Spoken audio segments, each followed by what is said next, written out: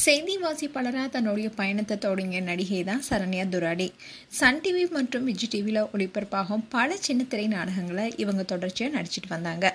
குறிப்பாக இப்போ விஜய் டிவியில் ஒளிபரப்பாகிட்டு வர பாண்டியன் ஸ்டோர் சீரியலுடைய இரண்டாம் பாகத்தில் தங்கமயில் என்ற கேரக்டரில் நடிச்சிட்டு வராங்க. இந்த சீரியலில் கொஞ்சம் நெகட்டிவ் கேரக்டரில் மக்களை வெறுப்பேற்றுற மாதிரி நடிச்சிட்டு வராங்க. மேலும் சரண்யாவுக்கு ராகுல் சுதர்ஷனோட டூ தௌசண்ட் டுவெண்ட்டியில் ஆயுத எழுத்து சீரியல் பண்ணிட்டு இருக்கும்போது திருமண நிச்சயதார்த்தம் நடந்துச்சு. அதுக்கப்புறமா கொரோனா வந்ததுனால நாங்கள் ஃபோன்லேயே காதலிக்கிறோம்னு சொல்லிட்டு வந்தாங்க சரண்யா.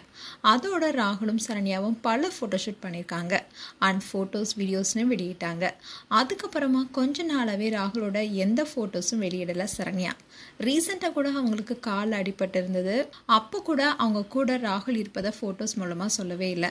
அண்ட் இன்னைக்கு ராகுலுடைய பர்த்டே அதை முன்னிட்டு ராகுலுக்கு விஷ் பண்ணுற மாதிரி happy birthday husband many more years of love life and லாட்டர்னு போஸ்டும் போட்டிருக்காங்க. கூடவே ராகுல் கிஸ் பண்ணுற ஃபோட்டோவையும் ஷேர் பண்ணியிருக்காங்க இதை பார்த்து ஃபேன்ஸ்லாம் ஷாக் ஆகியிருக்காங்க.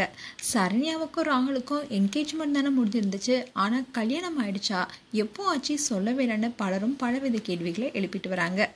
அண்ட் அது மட்டும் இல்லாமல் சரண்யா அந்த ஃபோட்டோவில் தாலி போட்டிருக்காங்க. ஸோ இந்த ஃபோட்டோ மூலமாகவே தனக்கும் ராகுலுக்கும் திருமணம் நடந்துருச்சுன்னு சொல்லியிருக்காங்க. மேலும் உங்களுடைய கருத்துக்களை கமெண்ட் செக்ஷனில் சொல்லுங்கள்